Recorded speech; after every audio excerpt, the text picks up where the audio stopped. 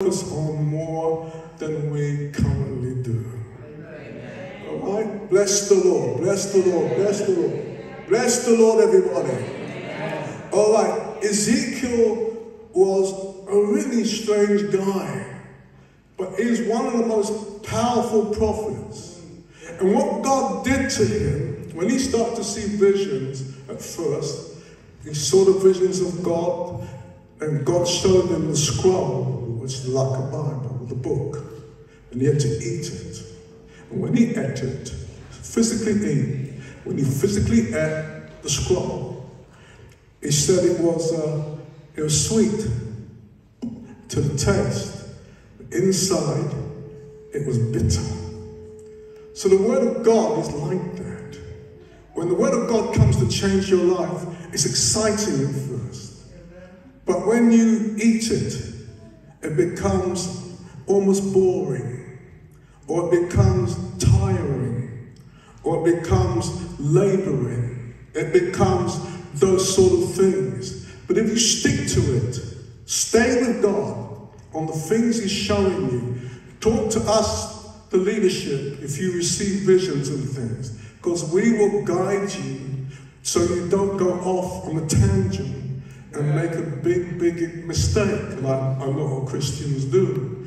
We, we're here, we're wise leaders, and we are experiential leaders, and we know if you have a vision, talk to me about it. Uh, is anyone ever, don't have to put your hands up, I'm not asking for that, but as people come and ask me about a vision, and I never knock you down.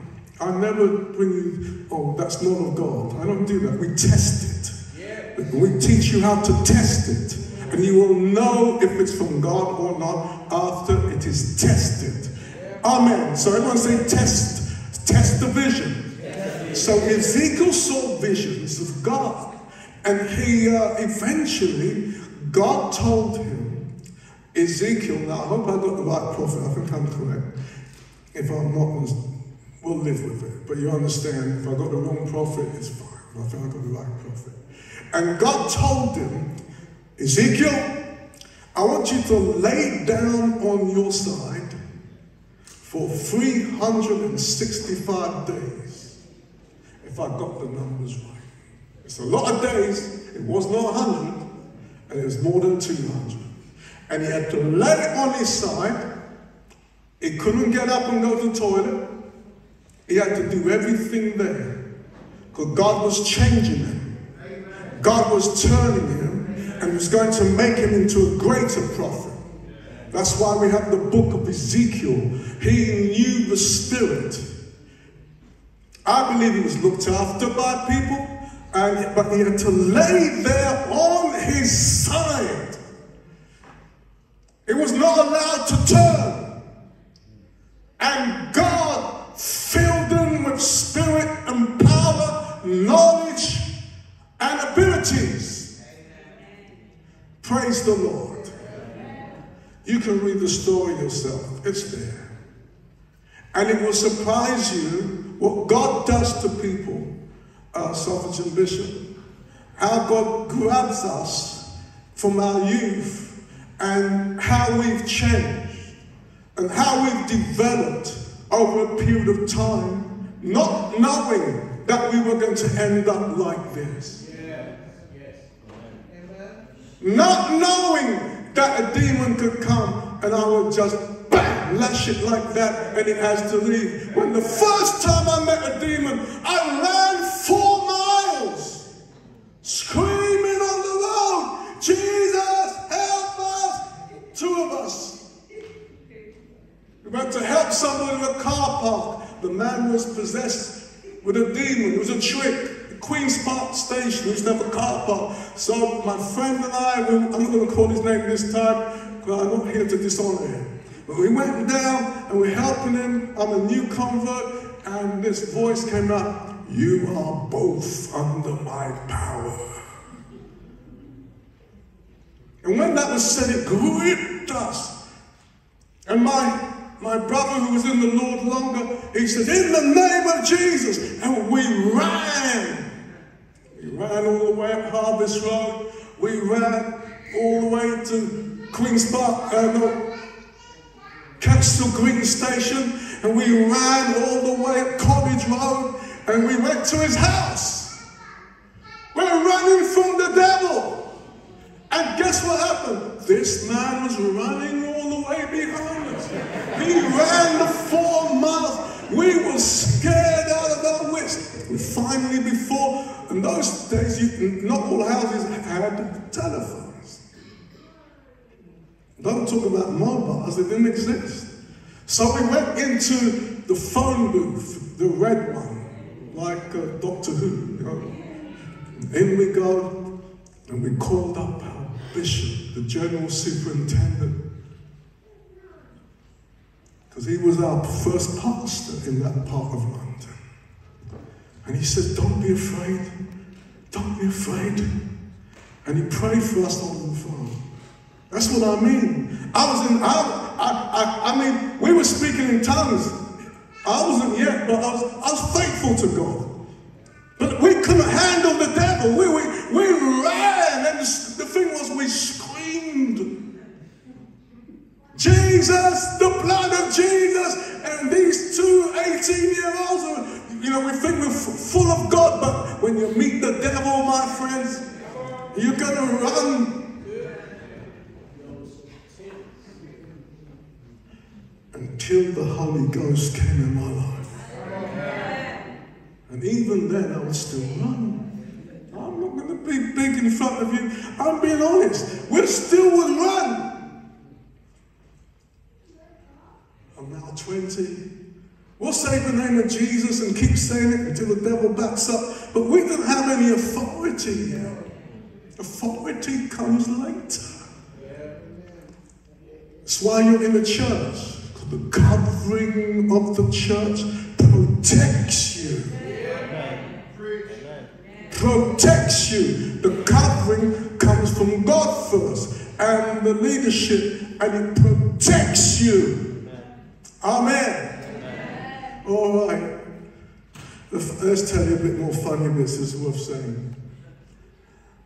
The day came, I'm in church now two years, going to prayer meeting three times a week.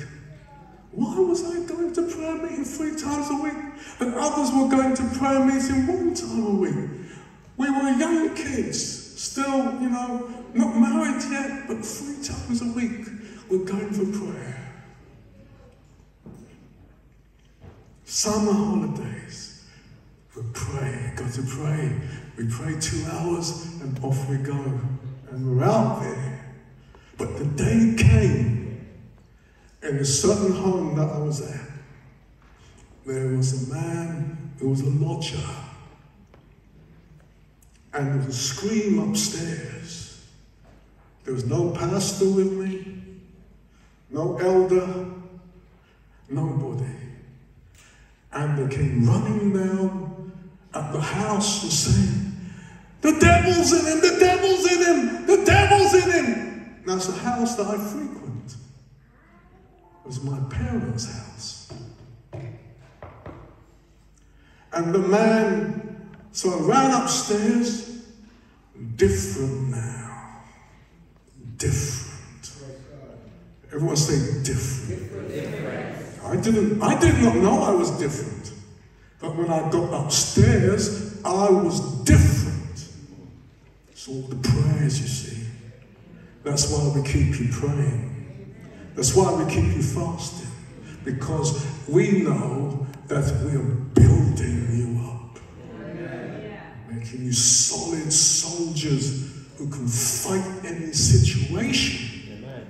So I ran up the steps. Now listen, last time I was running down the road. Now I'm running up the stairs. I hear the roaring and the voice of the devil up there. The one I heard some years before. I was not afraid of it this time. I went in and I said to the lady, what's going on? He says, look at him. He's kissing, he's kissing a paraffin heater. The paraffin heater, you don't know what a paraffin heater, what can I think of? Like your cooking thing, like say it's got gas flames. Oh, that's the only way I can explain it. And it's in a upright heater to warm up the room. The demon in him was talking, and he was putting his lips on the top of the heater at full blast in the winter. And it was not burning the man up. All I heard was the voices. And I came up, I walked into the room, I said, In the name of Jesus, come out of him! I don't know where the voice came from. I've never spoke like that before. It's not our voice. Amen. There's a voice beyond our voice. It's the rivers of living water. It is the rivers that flow out of our bellies. Give the Lord praise, everyone.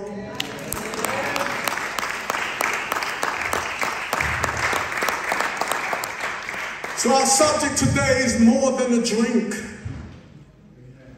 It's not just a drink we're getting. It's more than a drink. It's a stage more than a drink. As you open your heart and you're listening, I can feel you're listening. I feel your heart. You are receiving. You are receiving greater faith. You are receiving greater power. Amen. Amen. Amen. Amen. All right, let me be quick with you and calm down. And I'd like you to come, those who still want more of the Holy Spirit. Even if you're speaking in tongues, you still come and seek more the Holy Spirit. Amen. It doesn't mean that because you speak in tongues, I don't need to seek God anymore. It's about seeking God constantly. You're in His presence, keep seeking Him because God is engineering a power in you that will blast any power of the enemy and open doors for you. Hallelujah. I put my hands together for those of you who are getting new jobs and new employments and promotions. Since the day we said we are giving an, our offering, a special offering, we're not here talking about offering, just explaining that that word came from God. Amen. Because it's overturned the elements of poverty that people are going through. Amen. Amen. So,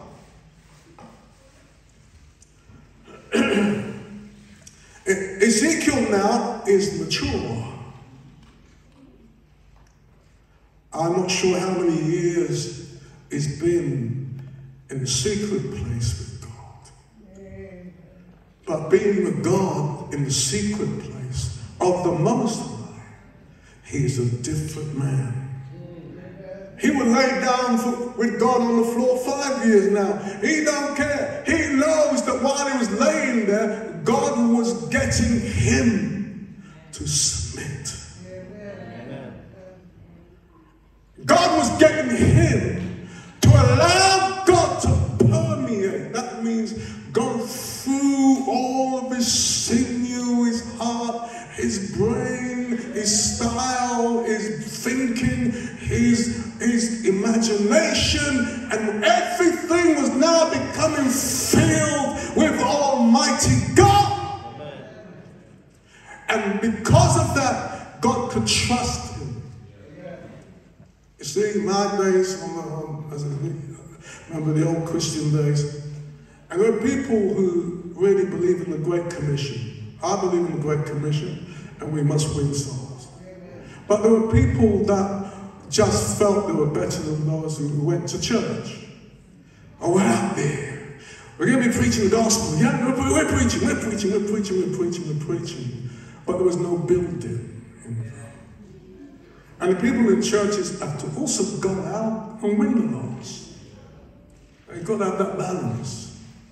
But we have people, you know, will say, oh, you hi guys, meet some guys on the street. Where, where you going? You're Christian? Yeah, yeah, yeah, we're Christians. So what are you doing? Oh, we're going, we're going to Liverpool. We're going ah, up there, we're going to preach, we're going to preach, we're going to preach. I said, where preach where? I'm 18. And I had enough sensibilities at 18 that one has to be trained. Amen. Didn't get much of an amen on that. You have to be trained. Praise the Lord. I'm not going to put you in a plane and tell you to fly until I will not be your passenger in your plane. I will not go. I, I, I need somebody with 15, 20 years of training. They know what a dive is. They know when one engine stops. They know how still to control the plane. They know if a rudder, piece of the rudder, the, the, directional thing falls off, they can still maneuver that plane and bring it safe to land at the airport. Amen. Amen. But imaginary people think they can just do things because they feel they're gifted. Your gift is not the power. The gift is the Lord's power. But He has to train us how to do things. Amen. That is the purpose of a church and a ministry. Hallelujah. So Ezekiel is now mature. He's different now. He's gone through the stages of training. Now watch what he says. he was in a vision in Ezekiel 47. And here we are back to the waters of God similar to what Jesus was talking about. But Ezekiel has a great revelation as to the stages of development of the Holy Spirit in people's lives. You don't just speak in tongues and then next, or you start off, you can't do that in studies, can you? You do your A levels, your O levels, you get your degree, you don't get a doctorate next week. It can't be. There's a whole heap of information in the middle that's been missed. And that person will become a destroyer. Because they will teach people the wrong way of doing things. Praise the Lord. You, I'm not allow anybody who might be studying dentistry to go into my mouth with a drill, with all these other things. They'll tell me I need an extraction, but a senior dentist will say, no, you just need a slight root canal. So advisement and advice must be from those who have been trained. Hallelujah. Well, Apostle, where have you been trained? I'll tell you that another day. I've been trained in a lot of places. But more importantly, by the Holy Spirit. Amen. Now it says here verse 1, I'll just gloss over, uh, Ezekiel is talking because he's in one of his visions. And sometimes you get people who see visions a lot, and there's a prejudice against people that get visions. If you're one who gets visions and you share your visions, there's often a prejudice against it. People smile with you and say, well, well done. And turn their back and they feel different. And you have to be aware of that, that particular process. And don't let it stop you. I will not let it stop me. Amen. Everyone say, I will not let it stop me. God is, God is developing, He's developing me at the moment. And I'm going to stay with the Lord. And I will not allow anyone to take me and pull me in their direction astray from the calling, from the calling of the Holy Ghost. I will not allow anyone to change me. Stay with the Lord, everybody. Stay with the Lord. Hallelujah. Stay with the Lord. Right. In verse 2, that's worth reading. It says Ezekiel, he says, he's saying that the Spirit of God, he brought me out of the way of a gate. Northward led me about the way. King James a little bit hard to read after me. But he, what he's saying that he went to like the threshold of a big house. And so he was taken to this particular gate on the north side. And when he looked in And by the way, he looks eastward, and there ran out waters, a river. The river was really wonderful to look at, I presume. Verse 3 says, And when the man that had the line, there was a man who had a measuring tape. The measuring tape. Everyone say measuring. measuring. See, whatever we do for God, there is a measuring. We're being measured. When we stand before the throne and receive our rewards, there'll be different measurements for all of us. There's always a measuring going on. And, and so this measuring was taking place. And he says, and when, verse 3, when the man that had the line in his hand went forth eastward, he measured a thousand cubits. So, in other words, it's like if I have the end of the measuring and the person in the back, Sister Chantel, and I'll hold the line, so here, come here. And the waters are getting slowly and slowly deeper, deeper, deeper, deeper. It says that the first experience of what term I would term to be the Holy Spirit. When someone speaks in tongues, I would interpret that to say that. It says here, he measured a thousand cubits, brought me through the waters, and the waters were at my ankles. So when I'm saying this because something happened a few weeks ago. When I read this morning, the Lord reminded me how He filled me with the Holy Spirit. I had trouble speaking in tongues for one year and four months. It didn't work. I gave up. I was going to leave church. But God didn't allow that to happen. He filled me with His Holy Spirit. And you know what was amazing? And this happened the other day at church with someone else. The first thing God did, I felt His Spirit come on me suddenly as I was worshiping. And the Spirit of the Lord went down to my feet first.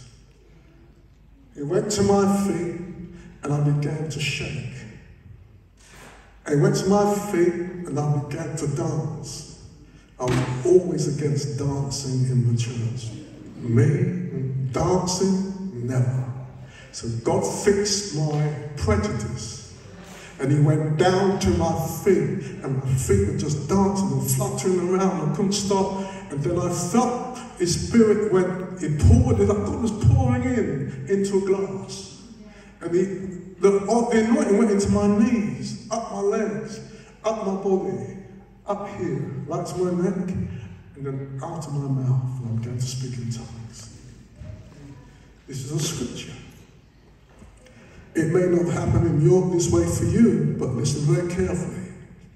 He says, I went down a thousand cubits. A cubit is from the tip of your middle finger to your elbow. That's between 18, maybe 24 inches, call it two feet, 18 inches. That's a cubit, a thousand of those. So that's the, the length that one has to walk with God. And you're ankle deep in Christianity. But you've got to keep walking. And you go 500. Well, nothing much is happening in my life. Keep walking. Keep walking. Keep walking. Keep walking. Because when you keep walking, you're going to go into the next stage of the power of the Holy Spirit. You have to keep walking. Everyone say, keep walking. Keep walking. All right, so it's ankle deep. In verse 4, again he measured a thousand and brought me through the waters, and the waters were to the knees. Someone say to the knees. What are the used for in our process of Christianity? What do we do?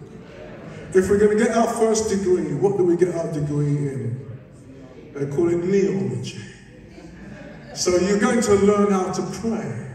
That's why God touches your knees. So that we go on our knees before God daily to talk to Him. Praise the Lord. Praise the Lord. None of this, um, I'm, I'm, I'm gonna, everyone used to, I used to do, I used to, I used to pray in bed. Everyone used to pray in bed. May the Lord, uh, Lord Jesus, thank you, Jesus, for today. Give me a good day tomorrow, Lord. Hallelujah, hallelujah. To sleep. No, you get out and you go on your knees and you pray. Thy kingdom come, thy will be done on earth. And you talk to God like that. He's your best friend, you know. Who believes that Jesus is your best friend? He's my best friend. There's no other. Hallelujah. Right, let me move on quick. And he measured me, and it was to the knees.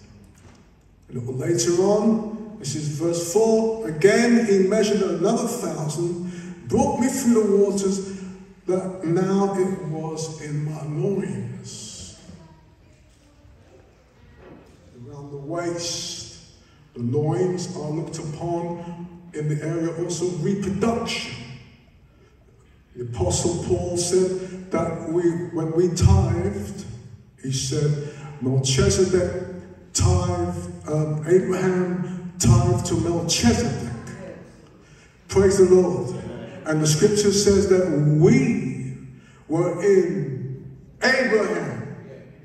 We, so the loins means the reproduction, the body, the torso here, the, the, uh, the organs, the vital organs, were also in this area that God is bringing healing, is bringing change to the vital organs of our body.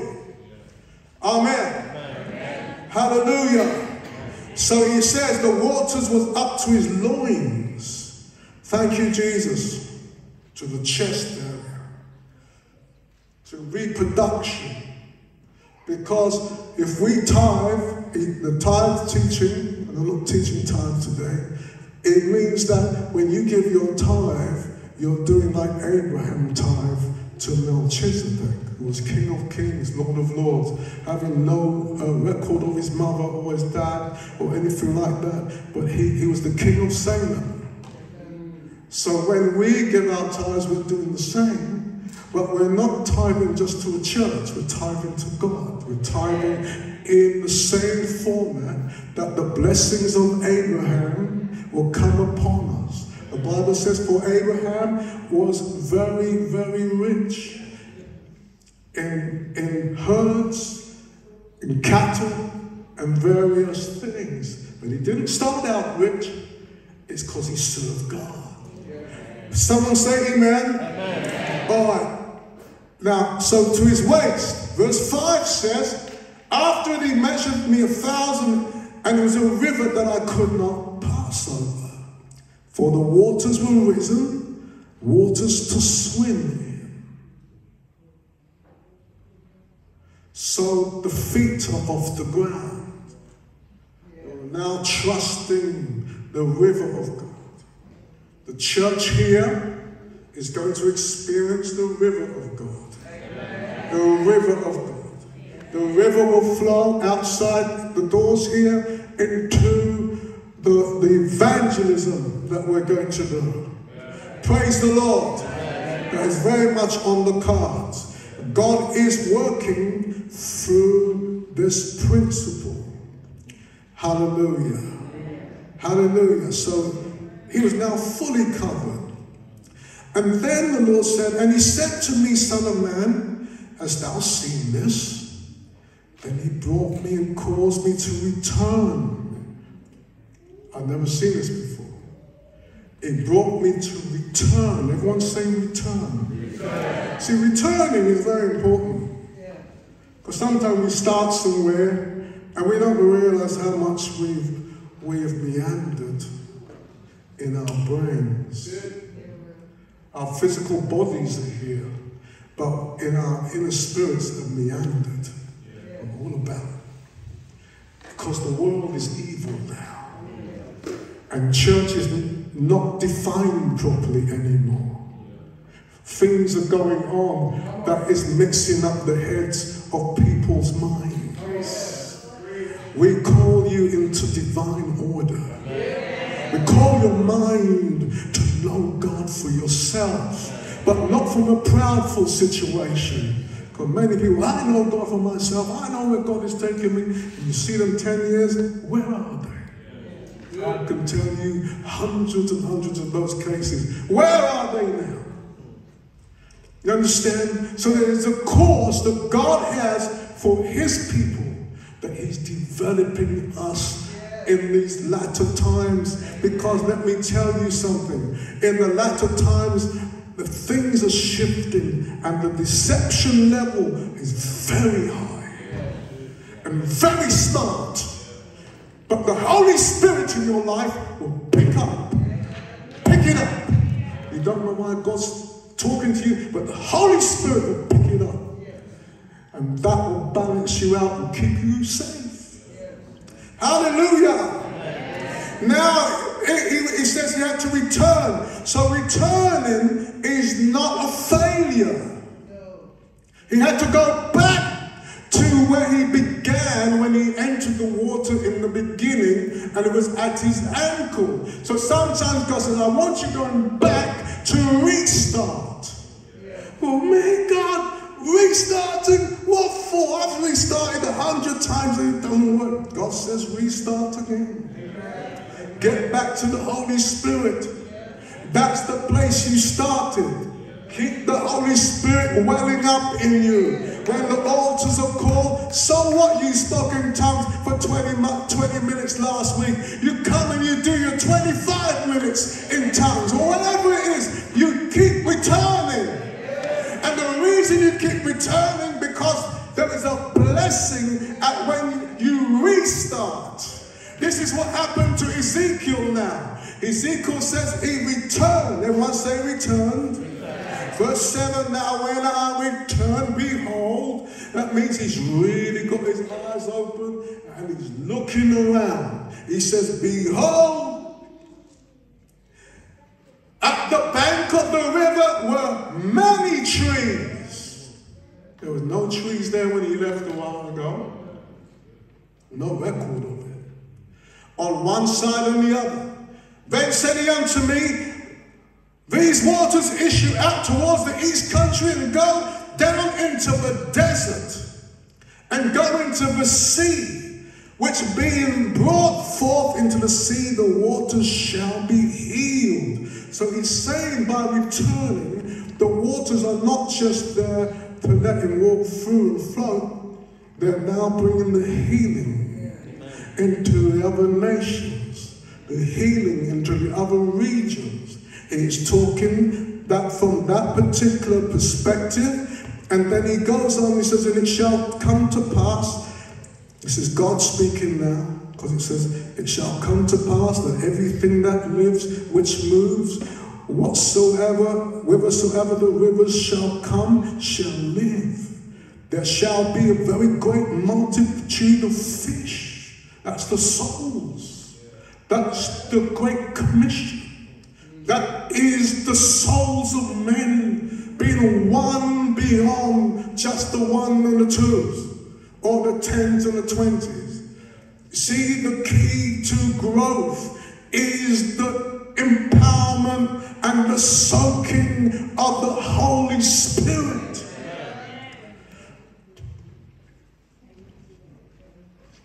He that hungers and thirsts after righteousness shall be filled. You must hunger. Praise the Lord. You must hunger and thirst. These rivers shall come, it says in verse 9. There shall be a very great multitude of fish. That's the unsaved people. Jesus called his disciples, I will make you fishers of men. Our job here is to win the hundreds, the thousands, and the tens of thousands, and the hundreds of thousands for Jesus. But we have to have the flow. We have to have the flow. We have to have the flow. Come on now. Come on now. Praise the Lord. It says, For they shall be healed. The healing ministry will step up. And everything shall live wherever the river comes. So Jesus says, out of your belly will flow rivers of living water that people around you will want to just sup up and drink of that which you possess in Christ. Thank you, Jesus. Thank you, Jesus. Thank you, Jesus. It says, For they shall be healed, and everything shall live whither the river comes and goes. And it shall come to pass that the fishers shall stand upon it from Engedi even unto Eneglaim. There shall be a place to spread forth nets. Jesus says to the disciples, Cast your nets. Cast your nets in Luke chapter 5. Peter, cast all, all your nets over the side of the ship. He says, Yes, Lord, I'll do it for you with joy. How many nets did he throw? One. King James says one. New King James will say he threw the nets. It's not right. He, he threw one net. Jesus says, throw all the nets, you fishermen. And they're out there thinking, what does he know about nets? Maybe some of you think like that about me. I don't know. What does he What does he know about fishing? What does he know? And they're saying that, well, my, my, my dad was a fisherman. My great dad, granddad was a fisherman, and this Jesus, although I love him, he's saying, throw with all the nets over. We're not going to catch anything. We've been toiling all night. And what happened? They threw one net and their net broke. Praise the Lord. The net broke because they weren't really listening. They forgot who was talking to them. It's not me talking to you. It's the Holy Spirit talking to you. It's not Keith McLeod speaking to you. It is the Holy Spirit. If you will grab the Holy Spirit because Peter messed up. And he said, yes, Lord, I thrown the net. He's a liar. He lied to Jesus. And sometimes we speak, we're hearing God, we're not hearing, we, we're hearing ourselves. And we need to be hearing what Jesus is truly saying. And the Bible says what happened? The, the, the net was over, over full, and it broke. And because of that, Peter lost ministry. And we don't listen, we lose ministry.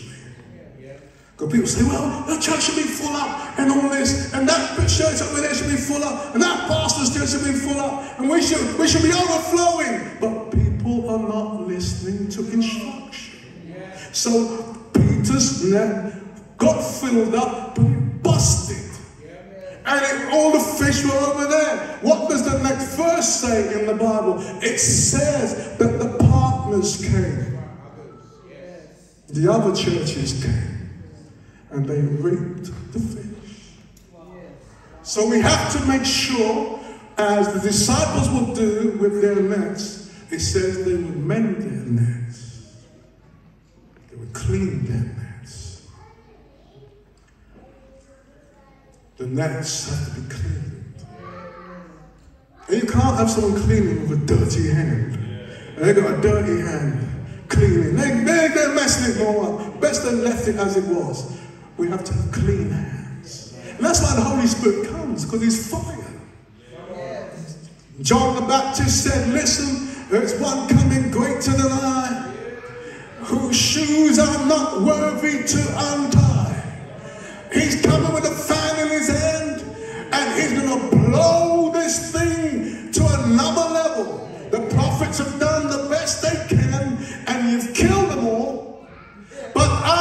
Jesus who came as a prophet and an apostle and as the Son of God, he came with great power.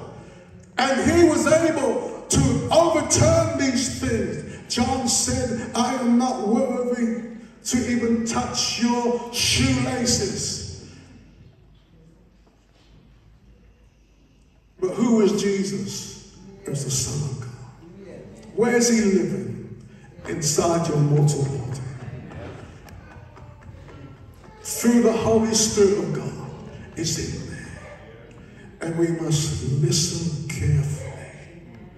Careful listening is the key. Praise the Lord. Praise the Lord. Praise the Lord. Everyone say, Praise the Lord. Praise the Lord. It says the fish, and their fish shall come according to their kinds, and they will spread forth nets. In verse 10. But 11 says, But the miry places, the muddy places, thereof, and the, the marshes thereof shall not be healed. They shall be given to salt. So from this church, MCCI, we are not in the muddy places. We are not in the, the marshland. We're in the place where the Holy Spirit is the focus. The focus of the Holy Spirit is in this place. Holy Ghost, we welcome you. Holy Spirit, we welcome you. We want more of you.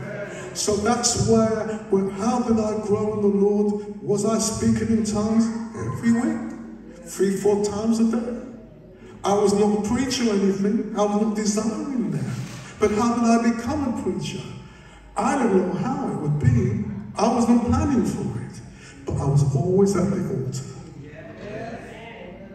When they said, let's pray, you see me coming down, I'm coming down. I'm usually always third row. I'm out here. Hands up. Give me some more. Hallelujah. Anoint me, amen. Let me, let me be slain, amen. Whatever it is, I don't care. I just want more. I want, I'm like a fish. And that is the attitude of growth. Amen. Now, if you don't come forward, that's your choice. But I'm just saying, every week, please, come and be filled again. Be refilled again. Because the filling is not capacity. It's not like putting water in a glass. It's the density. So if I have Ribena and I put a bit in water, it will go light pink, pinky red. But after a while, you just keep adding, it goes, looks violet, it looks like a plum, dark, it's dense. So when I have the Holy Spirit and it's light, and the devil comes, we'll have a fight and a tussle, but it's going to be hard to get rid of him. Because he knows I'm not compacted with the energy of the Holy Spirit in terms of density. So at prayer time, uh, go to the front. If we've got prayer in the back, go to the front. Whatever, just keep coming to the front because the front of the house is close to the altar of God, where the Ark of the Covenant is. Let's get in close there rather than be at the perimeter. perimeter. That's it. That's it. The Lord just wanted me to explain. So that preaching sometimes we, we can get lost in it because it's so happy, happy, clappy, and we get lost in that. And you, you say, what did we, what was the message today? Oh, can't think, can't remember. Know, we can't work it out, but we had a great time. But sometimes we need to know the purpose why we're here. We're going to have world evangelism out there. City evangelism. But that comes first that we have fullness of God. All my life, He has been faithful. All my life,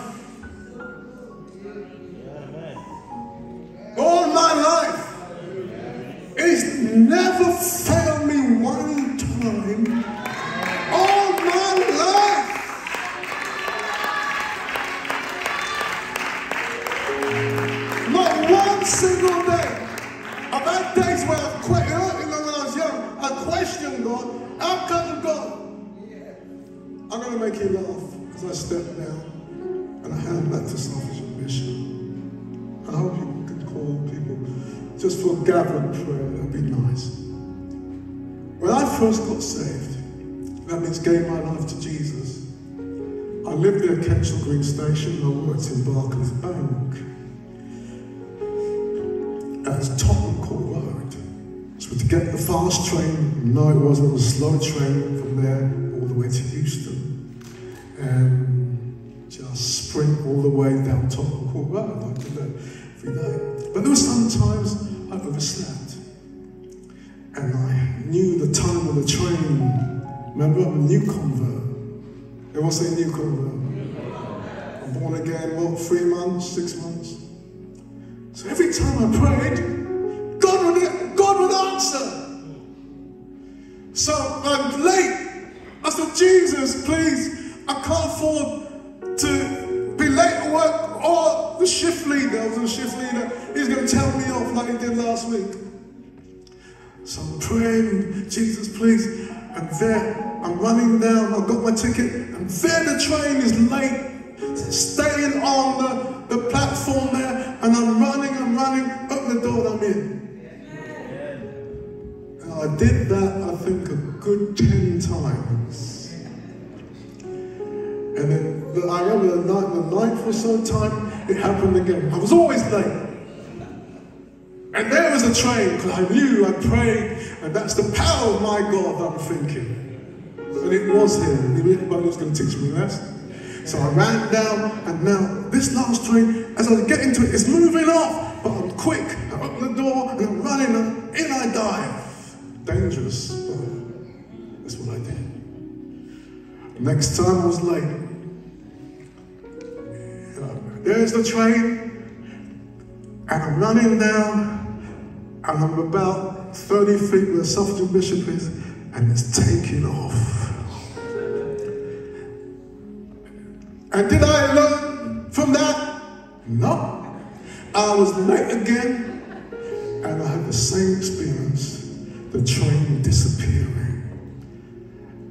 And I complained to my Christian buddy. I had a buddy who looked after me. I said, why did that happened? He says, the Lord is, it was helping you as a new convert at first. He'll answer any, any prayer you make. But after a while, he's going to stop it. Because he wants you to mature.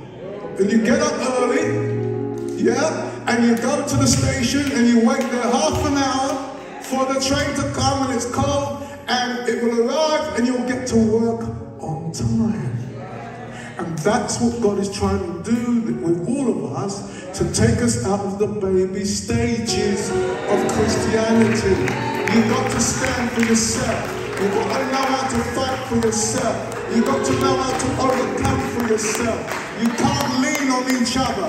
Although we are together, we're leaning together. But when you're on your own, you've got to know how to battle.